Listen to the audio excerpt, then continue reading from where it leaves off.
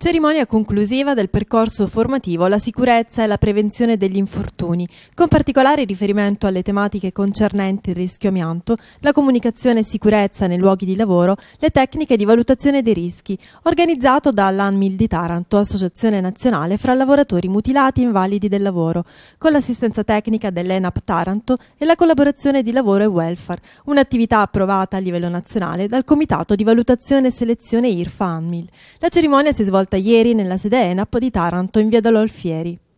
Beh, questo corso formativo vede una ventina di ragazzi che hanno avuto un infortunio del lavoro e dopo questo tale infortunio sono usciti dal mondo del lavoro.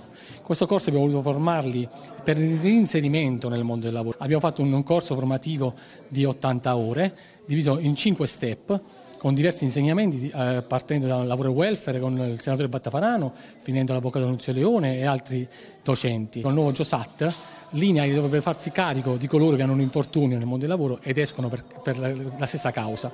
Quindi anche in questo caso noi crediamo che, eh, visto la formazione l'abbiamo fatta a livello gratuita noi come Animil, con un progetto IRFA a livello nazionale, quindi crediamo che questo potrebbe dargli una spinta in più. Non solo, noi chiediamo alle aziende che sono inadempienti con la 6899 di affacciarsi perché la disabilità non è un peso per l'azienda ma è una ricchezza per l'azienda. Presenti all'evento anche invalidi e mutilati sul lavoro che hanno frequentato il corso.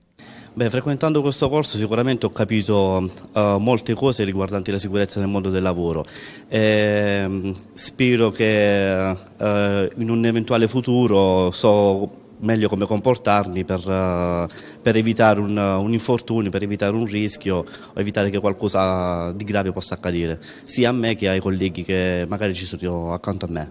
Io con questo corso organizzato da Ranimir, messo a disposizione da Rina e di Taranto, uh, spero uh, con questa denuncia alle istituzioni di ritornare nuovamente nel mondo del lavoro e di non essere escluso da questo mio infortunio che mi ha danneggiato. Nel corso della cerimonia sono stati consegnati gli attestati di frequenza ai partecipanti del percorso formativo, che per la prima volta è stato organizzato a favore di chi in passato ha già subito un infortunio sul lavoro, riportando un'invalidità permanente, per renderlo più consapevole e informato, in modo che in occasione di un suo reinserimento nel mondo del lavoro non subisca più infortuni.